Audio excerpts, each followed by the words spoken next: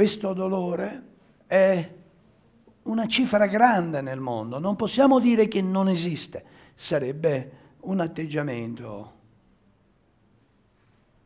di fuga, un atteggiamento di nessun beneficio concreto per le nostre vite e per lo sviluppo della nostra coscienza.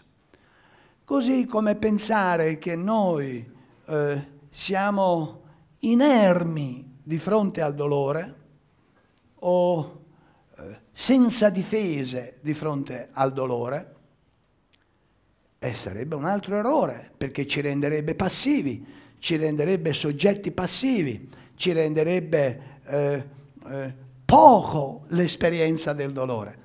Noi al dolore dobbiamo reagire, dobbiamo combatterlo, dobbiamo rispondere al dolore, ma dobbiamo rispondere in maniera intelligente, dobbiamo rispondere in maniera costruttiva, meglio, in maniera progettuale. Dobbiamo avere un progetto per rispondere al dolore.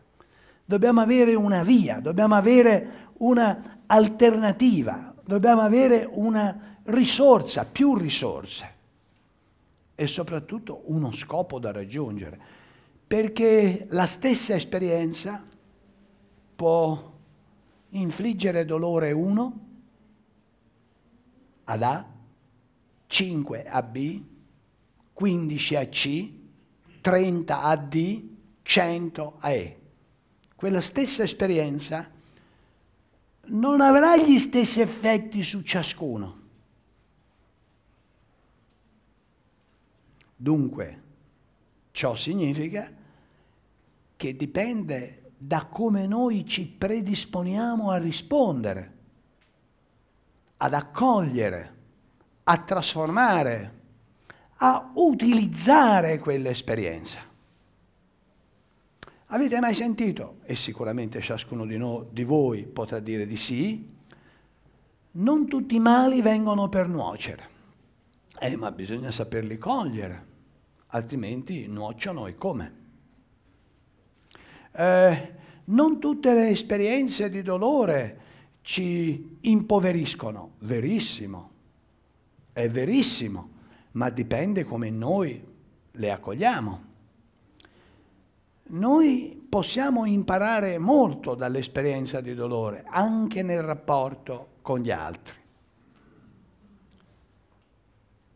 Ma dipende che cosa ne facciamo di quell'esperienza, come la utilizziamo quell'esperienza, come ci poniamo di fronte a quell'esperienza, ma non soltanto di fronte nel primo impatto, quanto ci urta, quanto noi siamo, per dirla con Dante, tetragoni di fronte eh, alla malaventura, eh, per dirla ancora in termini da rinascimento. No, non solo, ovvero, non solo.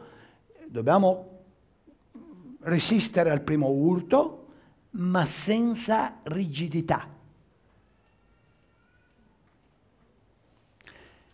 Assorbire in maniera... Adesso hanno imparato anche nell'industria automobilistica, è una derivazione che viene da altre esperienze, assorbire il colpo, perché se l'oggetto è rigido ha un grande contraccolpo e incassa il colpo in maniera più distruttiva.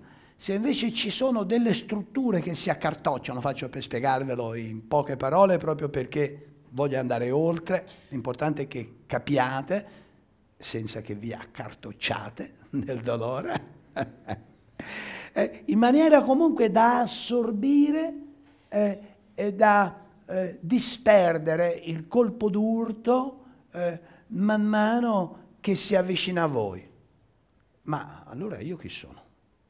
Sicuramente non l'epidermide, sicuramente eh, non i sensi e gli oggetti dei sensi, sicuramente neppure la mente. Manas è un, sicuramente una nostra struttura che deve aiutarci ad assorbire il colpo senza avere un contraccolpo troppo forte.